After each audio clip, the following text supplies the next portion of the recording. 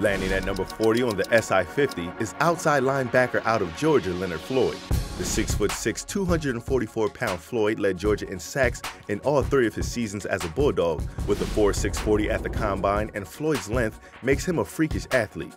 He has the ability to play multiple positions, but has the potential to be a game-changing edge rusher as well as dropping the coverage against NFL tight ends. Floyd could be a special player if he finds the right team. The biggest issue facing Floyd is his lanky frame. He'll need to get more muscular to have a chance against NFL blockers. Floyd's pro comparison, former Arizona Cardinal second rounder, Daryl Washington.